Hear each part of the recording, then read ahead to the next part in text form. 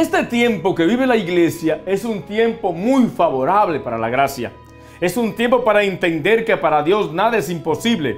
Es un tiempo para entender que Dios lo puede todo, que Dios transforma todo cuando hay disponibilidad, cuando hay fe, cuando hay esperanza. Dios transforma todo. Dios cambia todo. Y por supuesto, Dios permite un corazón nuevo cuando nos abrimos a Él cuando nos abrimos a la gracia. Bendito sea el poder de Dios. Por eso, Navidad, nacimiento del Hijo de Dios. Navidad, vencimiento o vencer todo lo que se nos pueda presentar. Navidad es quitar la oscuridad y dejar que venga la luz. Navidad es permitir que todo lo viejo pase y que venga lo nuevo. Eso es Navidad. Y mira, como decía, Dios pone todo nuevo, Dios transforma todo, Dios lo hace todo nuevo.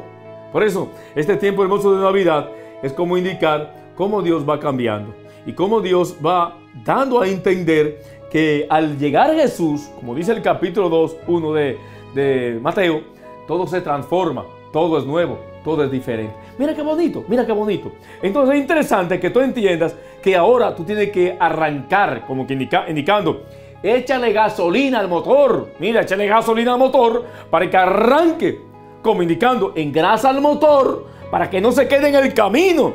Estamos engrasando, estamos echando gasolina porque viene un tiempo hermoso o estamos en un tiempo hermoso que nos va a llevar incluso a un año nuevo. Por eso este tiempo de Navidad es como engrasar el carro, es como dejar que el Señor entre a nuestra vida para que como nace nos dé la fuerza y nos dé lo necesario para seguir adelante. No te quedes ahí ah, ah, como, como, como agachado, no te quedes ahí como los viejos que no tienen fuerza, no te quedes ahí como esos que andan convertidos de trapos, no lo contrario. El traje nuevo, el traje de la gracia, el traje de la misericordia, el traje del amor, comunicando, Dios va conmigo, Dios ha nacido en mi corazón y entonces hay alegría, hay júbilo, hay gozo, hay miradas nuevas, hay palabras nuevas, hay un hogar nuevo, todo se transforma a mi alrededor, mi vida es diferente porque Dios ha nacido en mi vida, Dios ha nacido en mi corazón. Yo te quiero indicar en este día de hoy, querido hermano, mira, chécate a ver qué es lo que te está quitando la paz, qué es lo que te está quitando la gracia. Ya, Jesús nació. Ahora, en tu vida, en tu corazón, está ahí. Nació Jesús en tu corazón. Tú estás permitiendo Navidad. Tú estás permitiendo que Jesús viva en ti. Tú estás permitiendo que Jesús se dé a conocer a otros. Si no es así, mira, todavía tienes tiempo. Todavía hay tiempo. Dale tiempo a Dios.